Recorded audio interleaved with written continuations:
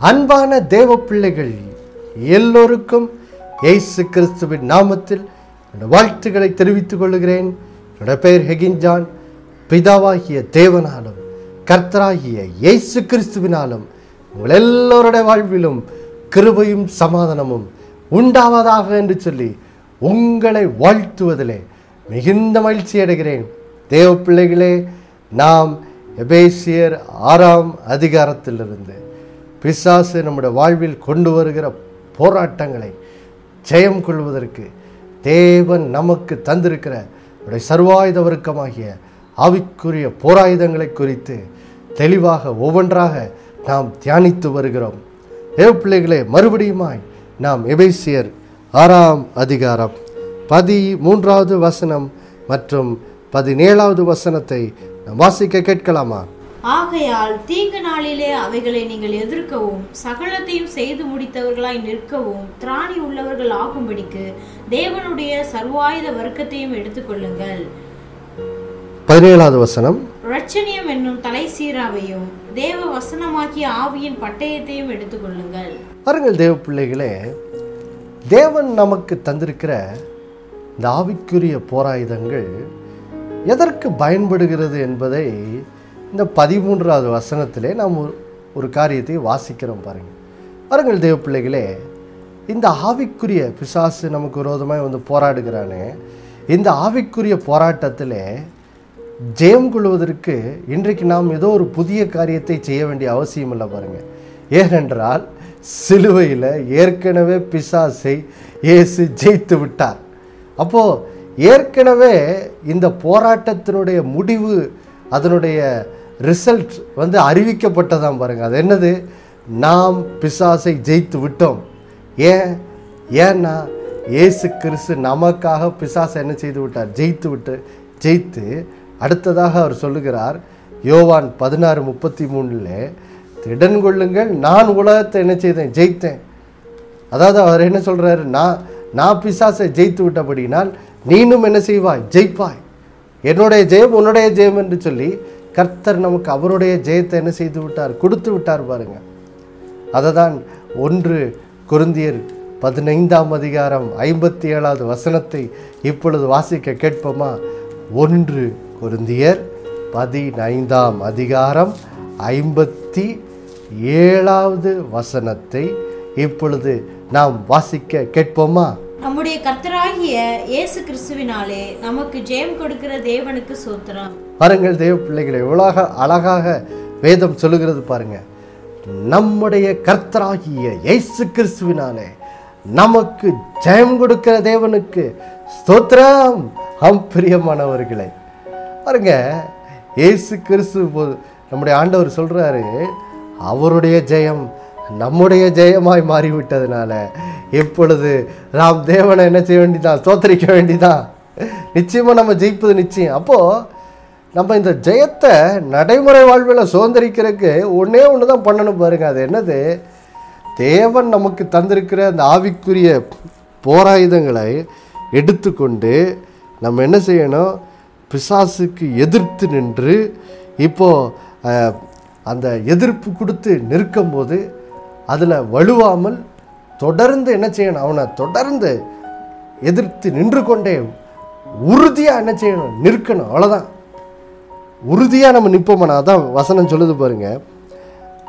அவைகளை நீங்கள் எதிர்க்கவும் சகலத்தையும் செய்து முடித்தவர்களாய் நிற்கவும். அப்போது இதில் எதிர்க்கவும் நிற்கவும் அந்த ரெண்டு வார்த்தை ரொம்ப ரொம்ப முக்கியம் பாருங்கள் அப்போது பிசாசுக்கு எதிர்ப்பு கொடுத்து இப்பொழுது தேவன் நமக்கு கொடுத்துருக்கிற அந்த அந்த சத் வசனங்களின் சத்தியத்தின் அடிப்படையில் நம்ம அதில் உறுதியாய் வேரூன்றி நின்று பிசாசுக்கு தொடர்ந்து எதிர்ப்பு கொடுத்து கொண்டே இருக்கும்போது பாருங்க நம்ம பாருங்க வெற்றியை நம்முடையதாக என்ன செய்வோம்? ஆக்கிக்கொள்வோம் ஆம் பிரியமானவர்களே இதை நாம் என்ன செய்ய வேண்டும்? முதலாவதாக புரிந்து கொள்ள வேண்டும். இப்பொழுது நாம் தொடர்ந்து பாருங்க அஹ், பதினேழாவது வசனத்துக்கு இப்போ மறுபடியும் செல்வோம் பாருங்க. எபேசியர் ஆறு பதினேழு. எபேசியர் ஆறாம் அதிகாரம் பதினேழாவது வசனத்தை வாசிக்க கேட்போம். இரட்சணியம் என்னும் தலை சீராவையும் தேவ வசனமாகிய ஆவியின் பட்டயத்தையும் எடுத்துக்கொள்ளுங்கள். பாருங்கள் தேவ பிள்ளைகளே நாம் கடந்த வாரத்திலிருந்து பாருங்கள் நமக்கு ஆண்டவர் கொடுத்துருக்கிற ஆவிக்குரிய போராயுதத்தில் ஐந்தாவது காரியத்தை நாம் தியானிக்க ஆரம்பித்தோம். ஏற்கனவே சத்தியம் என்னும் கட்சியை தியானித்து விட்டோம். நீதி என்னும் மார்க்கவசத்தை தியானித்து விட்டோம். சமாதானத்தின் சுவிசேஷத்துக்குரிய ஆயத்தம் என்னும் பாதரட்சியை தியானித்து விட்டோம். விசுவாசம் என்னும் கேடகத்தை நாம் என்ன செய்து விட்டோம்? தியானித்து விட்டோம். இப்பொழுது அடுத்ததாக ரட்சணியம் என்னும் தலை சீராவை இப்பொழுது என்ன செய்கிறோம்? தியானிக்க ஆரம்பித்திருக்கிறோம். இதை இன்னும் தெளிவாக புரிந்து கொள்வதற்கு நாம் கடந்த வாரம் ஒன்று தெசலோனிக்கேயர் ஐந்தாம் அதிகாரம் எட்டாவது வசனத்துக்கு சென்றோம். மறுபடியும் அதை வாசிக்கலாமா? ஒன்று தெசலோனிக்கேயர் ஐந்தாம் அதிகாரம் எட்டாவது வசனம். பகலுக்குரியவர்களாகிய நாமோ தெரிந்தவர்களாயிருந்து விசுவாசம் அன்பு என்னும் மார்க்க அவசத்தையும் ரட்சிப்பின் நம்பிக்கை என்னும் தலை சீராவையும் தரித்து கொண்டிருக்க கடவோ? பாருங்கள் தேவ பிள்ளைகளே இந்த ரட்சிப்பு என்னும் தலை சீரா அதை இன்னும் தெளிவாக இங்கே ஒன்று தெசலோனிக்கிற ஐந்தாம் அதிகாரத்தில் வேதம் விளக்குறது. என்ன தலை சீரா? இது ரட்சிப்பின் நம்பிக்கை என்னும் தலை சீரா. அதாவது ஹெல்மெட் என்று சொல்லி வேதம் நமக்கு என்ன செய்கிறது? இதை விளக்குறது. கடந்த வாரத்திலே நாம் பார்த்தோம். எதற்காக கர்த்தர் இந்த ரட்சிப்பின் நம்பிக்கை என்னும் தலைச்சீராவை எதுக்கு தந்திருக்கிறாரு? எதுக்கு இப்போ ரட்சிப்பின் நம்பிக்கை என்னும் ஹெல்மெட்டை ஏன் கொடுத்துருக்கிறாரு? அப்படின்னு சொல்லி பார்த்தோம். தேவ பிள்ளைகளே நாம் கற்றுக்கொண்டோம் ரட்சிப்பின் நம்பிக்கையாகிய தலை சீரா பிசாசு நம்முடைய வாழ்க்கையிலே நாம் தேவனுடைய பிள்ளைகள் பிள்ளைகளாக இருக்கிறோம் என்று வேதம் சொல்லுகிறதே அந்த சத்தியத்தின் மேல் அவன் கொண்டு வருகிற அந்த சந்தேகங்களை மேற்கொள்வதற்காக இந்த ரட்சிப்பின் நம்பிக்கை என்னும் தலை சீரா நமக்கு கொடுக்கப்பட்டிருக்கிறது என்று சொல்லி நாம் கடந்த வாரத்தில் என்ன செய்தோம்? தியானித்தோம் பாருங்கள் பாருங்கள் தேவ பிள்ளைகளே இந்த உலக வாழ்விலே நாம் சந்திக்கிற போராட்டங்கள் நடுவில் பிசாசு பாருங்க நாம் கடந்த வாரத்தில் பார்த்தோமா தான் இயேசு இயேசு எப்படி சோதித்தான்? நீ தேவனுடைய குமாரனே ஆனால் அப்படின்னு இரண்டு முறை இயேசுனுடைய அந்த அடையாளமாகிய அவர் தேவனோட குமாரன் என்ற தேவனோட குமாரன் என்ற சத்தியத்தின் மேல் அவன் என்ன செய்கிறான் சந்தேகத்தை உண்டு பண்ண பார்க்குறான். அதே போல தான் பாருங்கள் இன்றைக்கு நம்முடைய வாழ்க்கையில் சில நேரங்கள் பாருங்கள் நம்ம நோயின் போராட்டத்தின் வெளியே கடந்து போகிறோம் சில நேரம் அஞ்சு நாள் ஒரு வாரம் அப்படிலாம் கஷ்டப்படுறோம். அப்படி கஷ்டப்படும் போது பிசாசை என்ன பண்ணுவான்? இப்படி தான் கொண்டு வருவான். ஆமாம் நீ தேவனுடைய பிள்ளையாக இருந்திருப்பீன்னா தேவன் இப்பொழுது ஏற்கனவே உனக்கு உன்னை வந்து சோகமாக்கியிருப்பார். நீ தேவனுடைய பிள்ளை இல்லை. அதனால தான் அவர் இன்னும் உன்னை வந்து சோகமாக்கவே இல்லை. ஆண்டவர் பாரு நீ அதனால தான் உன்னை உன்னை வந்து கைவிட்டாரு. நீ அவரோட பிள்ளை இல்லை. அப்படின்னு சொல்லி இப்படி நாம் தேவனுடைய பிள்ளைகள் என்று சொல்லி பாருங்க வேதம் ரட்சிப்பின் மூலம் நமக்கு கிடைத்திருக்கிற அந்த மிக பாக்கியத்தை குறித்து மிகப்பெரிய பாக்கியத்தை குறித்து சொல்லுகிறதே. அந்த சத்தியத்தின் மேலே தான் பாருங்கள் எப்பொழுதும் பிசாசு என்ன செய்வான்? சந்தேகத்தை கொண்டு வருவான். இப்போது பாருங்கள் தேவ பிள்ளைகளே வாசிக்கலாம் பாருங்கள் இன்னொரு வசனத்தை நாம் வாசிக்க கேட்போம். நீதிமொழிகள் நீதிமொழிகள் நான்காம் அதிகாரம் இப்பொழுது இருபத்தி மூன்றாவது வசனத்தை நாம் வாசிக்க கேட்போம். நீதிமொழிகள் நான்காம் அதிகாரம் இருபத்தி மூன்றாவது வசனம். எல்லா காவலோடும் உன் இருதயத்தை காத்துக்கொள். அதனிடத்து நின்று ஜீவ ஊற்று புறப்படும். பாருங்கள் தேவ பிள்ளைகளே எங்கள் ஆண்டவர் சொல்கிறாரு அப்பா எல்லா காவலோடும் உன் இருதயத்தை என்ன செய்யுங்க காத்துக்க ஏன்னா அதன் இடத்துல இருந்து ஜீவ ஊற்று என்ன செய்யும்? புறப்படும். நம்முடைய வாழ்வின் எல்லா நன்மைகளும் நம்முடைய இருதயத்தில் வாசமாக இருக்கிற பரிசுத்தாவின் பரிசுத்த இடத்துல இருந்தால் என்ன செய்யுது? புறப்படுகிறது. அப்போது யோசித்து பாருங்க பரிசுத்த ஆவியானவருடைய அந்த ஜீவ நதி நம்முடைய வாழ்வியில் ஓடணும்னா பாருங்க நாம் தேவனுடைய பிள்ளைகள் என்ற அந்த சத்தியத்தின் நிச்சயம் நம்முடைய இருதயத்தில் இருந்தால் தான் நம்ம பரிசுத்தாவியானவர் நதியாய் நம்முடைய வாழ்க்கையில் ஓடுவதை நாம் என்ன செய்ய முடியும்? அனுபவிக்க முடியும். தேவன் நம்முடைய வாழ்விலே கிரியை செய்கிறதை நம்முடைய வாழ்க்கையில் என்ன செய்ய முடியும்? அனுமதிக்க முடியும். அனுபவிக்க முடியும். அப்போது இதை தடுக்கணுன்னா என்ன செய்கிறது அதான் பிசாசு பார்க்கான் இவன் தேவனோட பிள்ளைன்னு பிள்ளையாக இருக்கிறதுனால தான் இந்த இந்த பாக்கியங்களெல்லாம் அனுபவிக்கிறான். அப்போது இந்த பாக்கியங்களை இவன் அனுபவிக்க முடியாதபடி தடுக்கிறது எப்படி? தேவனோட பிள்ளை என்ற சத் சத்தியத்தை குறித்து என்ன செய்வோம்? சந்தேகத்தை உண்டு பண்ணிடுவான் சந்தேகத்தை உண்டு பண்ணி அவன் அந்த அந்த அந்த சத்திய என்னுடைய பொய்யை நம்பிட்டான்னா என்ன செய்திடலாம்? இவன் உள்ளத்துலேருந்து ஜீவ தண்ணீர் நதிகள் புறப்பட்டு ஓடுறதை என்ன செய்யலாம் தடுத்து நிறுத்திடலாம். அப்படின்னு சொல்லி பிசாசு உணர்ந்து என்ன பண்ணுறான் அதனால தான் வேணுக்குன்னு பாருங்கள் தேவனுடைய பிள்ளை என்ற சத்தியத்தை குறித்த சந்தேகத்தை என்ன செய்கிறான் ஒவ்வொரு ஒவ்வொருத்தரோட உள்ளத்தில் வந்து என்ன செய்கிறான் விதைக்க பார்க்குறான். ஆனால் தேவ பிள்ளைகளே நாம் இந்த ரட்சிப்பின் நம்பிக்கை என்னும் தலைச்சீராவை அந்த ஹெல்மெட்டை அணிந்து கொள்ளும்போது என்ன ஆகிறது பாருங்க தேவனுடைய நம்பிக்கை நம்ம இருதயத்தை நிரப்பிடுது. என்ன என்ன நம்பிக்கை? நம்முடைய உள்ளத்தில் அந்த நிச்சயம் வந்துடுது பாருங்க. என்னது? ரோமர் எட்டாம் அதிகாரம் இப்பொழுது பதினாறாவது வசனத்தை நாம் வாசிக்க கேட்போம் பாருங்க. ரோமர் எட்டாம் அதிகாரம் பதி ஆறாவது வசனத்தை நாம் வாசிக்க கேட்போம் பாருங்க. நாம் பிள்ளைகளாய் இருக்கிறோம் என்று ஆவியானவர் தாமே நம்முடைய ஆவியுடனே கூட சாட்சி கொடுக்கிறார். பாருங்கள் தேவ பிள்ளைகளே எங்கே நாம் இந்த ரட்சிப்பின் நம்பிக்கை நம்ம அந்த தலை சீராவை அணிந்தவுடன் பாருங்க அது என்ன ஆகுது இப்போ பாருங்க உள்ளத்துக்குள்ள அந்த ஆவியானவருடைய கிரியையை நம்ம என்ன செய்ய முடியுது? பெற்றுக்கொள்ள முடிகிறது. என்னது? பாருங்க இங்கே வசனம் சொல்லுது ஆவியானவர் நம்முடைய இருதயத்தில் இருந்து கொண்டு பாருங்க அந்த அப்படிப்பட்ட இப்படிப்பட்ட சந்தேகங்கள்லாம் பிசாசு நம்ம நம்முடைய உள்ளத்துக்குள்ளே கொண்டு வர பார்க்குற பார்க்க முயற்சிக்கும் போது என்ன அது ஆவியானவர் கிரியை செய்ய ஆரம்பிக்கிறார். என்ன செய்கிறாரு நமக்குள்ள ஒரு சாட்சியை கொடுக்கிறாரு. என் மகனே என் மகளே நீ வந்து பயப்படாத. நீ தேவனோட பிள்ளை தான். நீ தேவனோட பிள்ளை தான். நீ நீ ரட்சிப்பின் மூலம் தேவனோட பிள்ளையாக மாற்றப்பட்டிருக்கிற அப்படிங்கிற ஒரு சாட்சி ஒரு உறுதியை நம்மளோட உள்ளத்தில் என்ன செய்கிறார்? பரிசுத்த தாவியானவர் தருகிறார் பாருங்கள் அப்போ தரும்போது என்ன ஆகுது இப்போ நம்ம பிசாசனுடைய சந்தேகங்களை மேற்கொள்ள அது என்ன செய்கிறது? உதவி செய்கிறது பாருங்கள் அப்போ பாருங்கள் தேவ பிள்ளைகளே இந்த ரட்சிப்பின் நம்பிக்கை என்னும் இந்த தலைசீரா இவ்வளோ இந்த ஹெல்மெட்டு இவ்வளோ முக்கியமானதாக இருக்குது. ஏன்னா ஒரு யோசித்து பாருங்கள் தேவ பிள்ளைகளே இந்த சத்தியத்துக்கு இன்னொரு ஒரு முக்கியமான எடுத்துக்காட்டை நான் திருப்பவும் பாருங்கள் இந்த நம்ம பலமுறை இந்த தாவீது கோலியா சம்பவத்தெல்லாம் தியானிச்சிருக்கோம். வேற வேறு கண்ணோட்டத்தில் நம்ம தியானித்தோம் ஆனால் நம்ம கற்றுக்கொண்டிருக்கிற இந்த சத்தியம் என்னது? இந்த ரட்சிப்பின் நம்பிக்கை என்னும் தலை சீராவினோட இந்த நோக்கம் இதை குறித்து நம்ம பார்த்து கொண்டிருக்கிறோமே அதாவது தேவனுடைய பிள்ளை பிள்ளை என்ற அந்த சத்தியத்தை குறித்து பிசாசு கொண்டு வர சந்தேகங்களை மேற்கொள்ள இந்த ரட்சிப்பின் நம்பிக்கைன்னு தலை சீரா என்ன செய்து உதவி செய்துன்னு நம்ம பா நம்ம தியானித்து கொண்டிருக்கோமே. இந்த கண்ணோட்டத்தில் இப்போ இந்த தாவியது கோலியா சம்பவத்தை என்ன செய்வோம்? தியானிப்போம் பாருங்கள் மறுபடியும் போகலாம். ஒன்று சாமுவேல் பதினேழாம் அதிகாரம். ஒன்று சாமுவேல்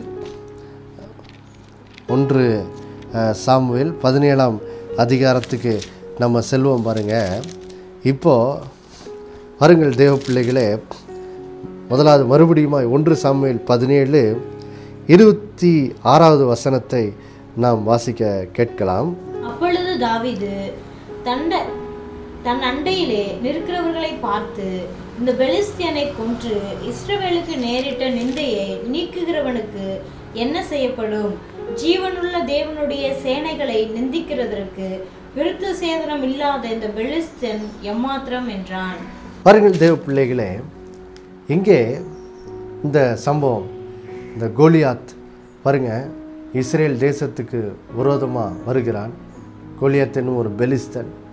இப்போது சவுல் தலைமையில் இஸ்ரோ இஸ்ரேல் இராணுவ வீரர்கள் பாருங்க இப்போ பெலிஸ்தருக்கு எதிர்கொண்டு யுத்தம் பண்ணும்படி சென்றிருக்கிறார்கள்.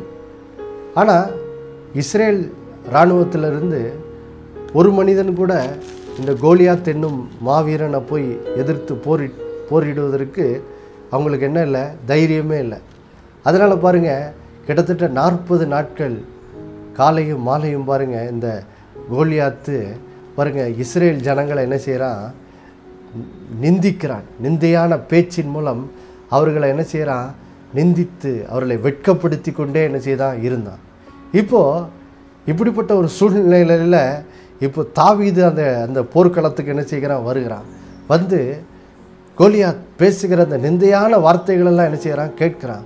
கேட்டவுடன் அவனுக்குள்ளே என்ன வருது? ஒரு ஆவிக்குரிய வைராக்கியம் எழும்புகிறது. எழும்பினவுடன் அவன் ஒரு வார்த்தையை இங்கே பேசுகிறான் பாருங்கள் என்ன வார்த்தைகளை பேசுகிறான்? ஜீவனுள்ள தேவனுடைய சேனைகளை நிந்திக்கிறதுக்கு விருத்த சேதனம் இல்லாத இந்த பெலிஸ்தன் எழுது எம்மாத்திரம் அப்படிங்கிறான் அதாவது பாருங்க இந்த சவுலும் அவனோட இராணுவ வீரர்களும் இந்த கோலியாத்தோட நிந்தைகளை நாற்பது நாளாக கேட்டுக்கிட்டே இருக்காங்க. நிந்திக்க இந்த பிசாசு பாருங்க இப்படி கோலியாத்தின் மூலமாக இந்த இஸ்ரேல் இராணுவத்தை நிந்தித்து கொண்டே இருக்கும்போது என்ன நடக்குது? பாருங்க சவுலுக்கும் அவனோட இராணுவ வீரர்களுக்கும் ஒரு சத்தியத்தையே அவங்க மறந்தே போயிடுறாங்க. அது என்னது? இஸ்ரேல் ஜனங்கள் ஜீவனுள்ள தேவனோடு அவர்களுக்கு ஒரு ஒரு உடன்படிக்கை இருக்கிறது. தேவனாகிய கர்த்தர் அவர்களுடைய தேவனாக இருக்கிறாரு. இவர்கள் தேவனுடைய ஜனங்களாக இருக்கிறாங்க. ஆதலால் பார்வோனை பார்வோனையும் அவனுடைய சேனைகளையும் கவிழ்த்த அதே தேவன் இப்பொழுது இவர்களோடும் என்ன செய்கிறார்? இருக்கிறார் என்ற அந்த சத்தியத்தை என்ன பண்ணி இவங்க ஜீவனுள்ள தேவனுடைய புல் சேனைகள் என்ப என்ற அந்த சத்தியத்தை என்ன பண்ணிடுது இந்த கோலியாத்தின் மூலம் வருகிற நிந்தை மறக்க வச்சிருது. அதனால் சவுல்லாம் மறந்துட்டான். அவன் ஒரு வந்து ஒரு சாதாரண ஒரு மற்ற நாட்டினுடைய ராஜாக்களை போல தான் யோசிக்கிறான். பாரு நமக்கு நம்மளை காட்டில் இந்த கோ- பெலிஸ்தன் ஆகிய கோலியத் பெரிய ஆளாக இருக்கான். அப்போ நம்ம நமக்கு இவனை ஜெயிக்கிற அளவுக்கு எனக்கும் என் இராணுவ வீரர்களுக்கும் வந்து பலன் கிடையாது. அதனால் இவனை பார்த்து பயந்து தான் நடுக்க நடுங்க வேண்டும் என்று சொல்லி பாருங்க ஒரு சாதாரண உலக ராஜாக்களை போல சவுல் என்ன செய்தான்? யோசிக்க ஆரம்பிச்சிட்டான். ஏன்? இந்த கோலியாத்தின் நிந்தை இந்த சவுலையும் அவனுடைய இராணுவர்களையும் இவர்கள் யார் என்ற அடையாளத்தை என்ன செய்துட்டு மறக்க வச்சிருச்சு. இவங்க ஜீவனுள்ள தேவனுடைய சேனைகள் என்பதே மறக்க வச்சுட்டு. ஆனால் ஒரு வாலி வாலிபனாகிய ஒரு பாருங்க ஒரு ஒரு ஒரு தாவீது அந்த இடத்துக்கு என்ன செய்கிறான் வருகிறான் வர வந்தவுடன் பாருங்க இவனு இவன் தாவீது பாருங்க இவன் வந்து ஆண்டவரோட ஒரு ஒரு உறவு கொண்டவன். அதனால இவன் ஒரு வாலிபனாக இருந்தால் கூட பாருங்க சவுலும் அவனோட வீரர்களும் கேட்ட அதே நிந்தையான வார்த்தைகளை தான் தாவிதும் கேட்குறான் கேட்டவுடன் இவனுடைய மனதில் நினைவுக்கு வந்த முதல் சத்தியம் என்னது? நாங்கள் ஜீவனுள்ள தேவனுடைய சேனை. நாங்கள் உடன்படிக்கையின் ஜனங்கள். அதனால இந்த பெலிஸ்தன் எங்களுக்கு முன்னாடி என்னது எம்மாத்திரம் என்று சொல்லி பாருங்க இவனுக்கு தேவனோடு இருக்கிற அந்த உறவை குறித்த அந்த சத்தியம் என்ன ஞாபகம் வந்து ஞாபகம் வந்துருச்சு. ஞாபகம் வந்த உடனே அவனுக்குள்ளே ஒரு வைராக்கியம் என்ன செய்கிறது பிறக்கிறது பாருங்க. அப்போ யோசித்து பாருங்க தேவ பிள்ளைகளே இதுதான் இன்றைக்கு நம்முடைய வாழ்க்கையிலும் கூட நாம் தேவனுடைய பிள்ளைகள் என்ற உணர்வு நம்மை நிரப்பும்போது இப்படிப்பட்ட வைராக்கியம் தான் நம்மையும் என்ன நிரப்பும் பாருங்க. எடுத்துக்காட்டுக்கு சில வேலைகளில் பாருங்கள் பிசாசு மாறி மாறி சில பிரச்சனைகளை கொண்டு வரான். குடும்பத்தில் பிரச்சனை வேலையில் பிரச்சனை சரீரத்தில் பலவீனம் பண விஷயத்தில் பிரச்சனை. சில நேரம் பாருங்கள் மாறி மாறி நம்முடைய வாழ்க்கையில் பிரச்சனையை கொண்டு வந்துட்டு பாருங்கள் டக்குன்னு பிரச்சனையை கொண்டு வந்தது பிசாசு. ஆனால் என்ன பண்ணுவான் நம்மளோட மனசில் வந்து பார்த்தியா தேவன் ஒன்று எங்கே நேசிக்கிறாரு? அதனால தான் இப்படி வாழ்க்கையில் இப்படி பல்வேறு பிரச்சனையை அனுமதிச்சுக்கிட்டே இருக்காரு. அப்போ இதுலேருந்து என்ன தெரியுது? நீ அவரோட பிள்ளையே இல்லை. நீ எங்கே அவரோட பிள்ளை? அப்படின்னு சொல்லி என்ன செய்வான் இப்படி தேவனுக்கு விரோதமான சிந்தைகளை நாம் தேவனோட பிள்ளைகள் என்ற அந்த அடையாள அடையாளத்தை சந்தேகப்படி வைக்கிற சிந்தைகளை நம்மளோட மனசில் வந்து என்ன செய்வோம்? விதைச்சிருவான் பாருங்க. ஆனால் நாம் தேவனுடைய பிள்ளைகள் தான். மறுபடியும் அந்த வசனத்தை வாசிக்க கேட்போமா? ஒன்று யோவான் மூன்றாம் அதிகாரம் இரண்டாவது வசனத்தை முன்பாகம் மட்டும் நம்ம வாசிக்க கேட்போம். ஒன்று யோவான் மூன்றாம் அதிகாரம் இரண்டாவது வசனத்தின் முன்பாக மட்டும் நம்ம வாசிக்க கேட்போம். நாம் தேவனுடைய பிள்ளைகள் என்று அழைக்கப்படுவதினாலே பிதாவானவர் நமக்கு பாராட்டின அன்பு எவ்வளவு பெரியதென்று பாருங்கள். அடுத்தது இரண்டாவது வசனத்தின் முன்பகுதி. பிரியமானவர்களே இப்பொழுது தேவனுடைய பிள்ளைகளாய் இருக்கிறோம். பாருங்கள் தேவ பிள்ளைகளே ஆண்டவர் சொல்லுகிறாரு பிரியமானவர்களே நீங்கள் இப்பொழுது தேவனுடைய பிள்ளைகளா என்ன செய்றீங்க? இருக்கிறீங்க. அப்போ இந்த உணர்வு நம்மையும் தாவீதை போல நிரப்பும் போது என்ன ஆகுது? பாருங்க இப்படி மாறி மாறி பிரச்சனைகள் வரும்போது ஆண்டவர் ஏண்டவர் ஆண்டவரே இப்படி மாறி மாறி பிரச்சனையை வாழ்க்கையில் அனுபவிச்சுக்கிட்டு இருக்கீங்க? அப்படின்னு சொல்லி ஆண்டவருக்கு விரோதமாக முறுமுறுத்து புலம்புவதற்கு பதிலாக நீங்கள் என்ன தெரியுமா பண்ணுவீங்க? நான் தேவனுடைய பிள்ளை. நான் தேவனுடைய பிள்ளை. அதனால் அஹ், தாவீதை போல சொல்லுவீங்க. ஜீவனுள்ள தேவனுடைய பிள்ளையாகிய என்னை நிந்திப்பதற்கு இந்த விருத்த சேதனமில்லாத இந்த பிரச்சனைகள் எனது எம்மாத்திரம்? நீ யார் பிரச்சனை என்னை என்ன நிந்திக்கிறதுக்கு? நான் தேவனுடைய பிள்ளை. தேவன் என்னுடைய பட்சத்தில் இருக்கிறார். தேவனுடைய தகப்பன் அவர் என்னோட பிதா என்று சொல்லுகிற ஒரு உரிமை குரல் உங்களுக்குள்ள பரிசுத்தாவின் மூலம் என்ன செய்யும் எழும்பும் பாருங்கள் பிரச்சனைகளை ஜெயிக்கும்படி உங்களுக்குள்ளே ஒரு ஒரு ஆவிக்குரிய வைராக்கியம் விசுவாச வைராக்கியம் என்ன செய்யும்? தாவீதுக்குள் எழும்புனது போல உங்களுக்குள்ளும் என்ன செய்யும்? எழும்பும் பாருங்கள் தேவ பிள்ளைகளே அப்போ இப்படிப்பட்ட ஒரு ஒரு வைராக்கியம் உங்களுக்குள்ள எழும்பிடக்கூடாது. நீங்களும் பாருங்க பாருங்க இந்த தாவிது இவ்வளவு அந்த நான் நான் நாங்கள் ஜீவனுள்ள தேவனுடைய சேனை என்ற அந்த சத்தியம் அந்த உணர்வு அவனுக்குள்ளே ஆழம் இருந்ததுனால அவனுக்குள்ளே விசுவாச வயிறாக்கி எழும்புது. ஆனால் சவுலும் அவனோட வீரர்களும் நாங்கள் ஜீவனுள்ள தேவனுடைய சேனைகள் என்பதை என்ன செய்யிட்டாங்க? மறந்துட்டாங்க. அந்த சத்தியத்தை மறந்ததுனால விளைவு என்ன? பாருங்க ச சவுலும் அவனுடைய இராணுவ வீரர்களும் எப்படி இருந்தார்கள் என்று சொல்லி வேதம் அழகாக சொல்லுது பாருங்க. இப்போது ஒன்று சாமுவேல் பதினேழாம் அதிகாரம். ஒன்று சாமுவேல் பதினேழாம் அதிகாரம். பதினோராவது வசனத்தை வாசிக்க கேட்கலாம். சவுலும் இஸ்ரவேல் அனைவரும் அந்த பெலிஸ்தியனுடைய வார்த்தைகளை கேட்டு கலங்கி மிகவும் பயப்பட்டார்கள். பாருங்க சவுலும் அவனுடைய வீரர்களும் என்ன என்ன செய்தார்களாம் அவனுடைய வார்த்தைகளை கேட்டு கலங்கி மிகவும் என்ன செய்தார்கள்? பயப்பட்டார்கள். பயம் கலங்கி மிகவும் பயப்பட்டார்கள். அதாவது பயப்பட்டார்கள்னா என்ன அர்த்தம்? அதாவது பாருங்க ரொம்ப சில நேரம் பாருங்கள் பயம் அப்படி நம்மளை நெரு பயம் நம்மளை ரொம்ப நிற நிரப்பிருச்சுன்னா அப்படியே ச கை காலெல்லாம் என்ன செய்யும்? ஆட ஆரம்பிச்சிடும் ஐயோ நான் என்ன பண்ணுவேன்? அப்படின்னு சொல்லி பாருங்க. கை காலெல்லாம் அப்படி பதறி ஆட ஆரம்பிக்கும் பார்த்தீங்களா அப்படிப்பட்ட விதத்தில் தான் இங்கே சவுலும் அவனோட வீரர்களும் பயப்பட ஆரம்பிச்சிருக்காங்க பாருங்கள் சும்மா பயப்படல. அப்படி பதற ஆரம்பிச்சிட்டாங்க. கை காலெல்லாம் நடுங்க ஆரம்பிச்சிட்டு. யோசிச்சு பாருங்க. ஒரு ராஜாவுக்கு ராஜாவுக்கு இது இது ஒரு அழகா. சவுல் ஒரு ராஜா. சவுல் தான் இஸ்ரேல் தேசத்திலே வளர்த்தியானவன்னு போட்டிருக்கு. அப்பா வா சவுல் என்ன பண்ணியிருந்திருக்கணும்? கோலியாத்தனோட வார்த்தையை கேட்டவுடனே நீ யாரா எங்களை மிரட்டுறதுக்கு. நாங்கள் ஜீவனுள்ள தேவனுடைய சேனையாக இருக்கிறோம். ஜீவனுள்ள தேவனோட எங்களுக்கு ஒரு உடன்படிக்கை இருக்குது நீ எங்களையா வந்து நிந்திக்கிறேன்னு சொல்லி அவன் ஓடி போய் கோலியாத்துக்கு விரோதமாக போர் செய்து அவன் என்ன செய்திருக்கணும்? சவுல் தான் அந்த இடத்துல கோலியாத்தை ஜெயித்திருக்கணும். ஆனால் சவுல் உணர்வற்றவனாக கர்த்தரை அறியாதவனாக இருந்ததுனால அந்த இடத்துல பயந்து நடுங்கி கொண்டிருந்தான். அதனால்தான் கர்த்தர் சவுலுக்கு பதிலாக அந்த இடத்துல தாவீதை என்ன செய்ய வேண்டியிருந்துச்சு? எழுப்ப வேண்டியதாக இருந்தது பாருங்கள் ஏன்னா அந்த இடத்துல கர்த்தர் சவுலை பயன்படுத்த முடியல. ஏன்? அவன் கர்த்தருடைய வார்த்தையின் சத்தியத்தை மறந்துட்டான். அவன் ஜீவனுள்ள தேவனுடைய சேனை என்பதையே மறந்துட்டான். ஆனால் தாவீதோ அந்த சத்தியத்தை மறக்கவே இல்லை. அவனுக்குள்ளே அந்த அந்த சத்தியம் நிரம்பி இருந்தது பாருங்கள் அதனால தான் பின்னாடி தொடர்ந்து நம்ம வாசிக்கும் போது பாருங்க இப்போது தொடர்ந்து ஒன்று சமையல் பதினேழில் இப்போது நாற்பத்தி மூன்றாவது வசனத்தை வாசிக்க கேட்போம்.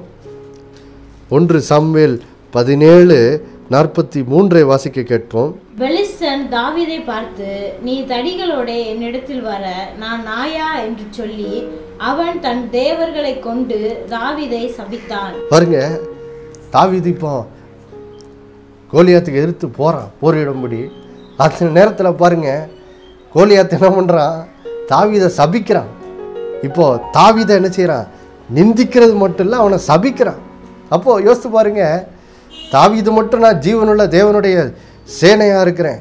தேவனின் பட்சத்தில் இருக்கிறார் அப்படிங்கிற அந்த அறிவில் நான் அந்த இடத்துல என்ன செய்யிருப்பான் பயந்து ஓடி இருப்பான் ஆனால் தாவிதுக்கோ தன்னோடு யார் இருக்கிறார் என்ற உணர்வு இருந்தனால உடனே பாருங்க பாருங்கள் பாருங்க இப்போ நம்ம நாற்பத்தி ஐந்தாவது வசனத்தை வாசிப்போம் பாருங்க.